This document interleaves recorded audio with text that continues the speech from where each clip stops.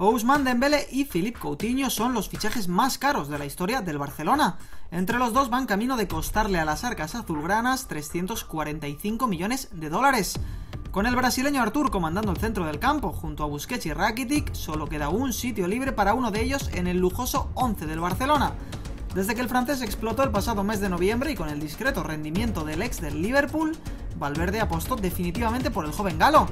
Cuando se lesionó el francés, a Coutinho se le abrieron de nuevo las puertas de la titularidad, en lo que vino a ser una oportunidad de oro para ganarse la confianza de Valverde y de paso para responder por fin a las altas expectativas que había generado su fichaje.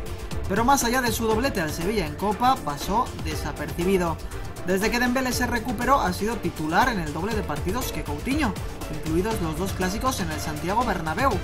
Y visto lo visto, en un partido grande, esa vacante en el 11 tiene nombre y apellidos, Guzmán Dembélé.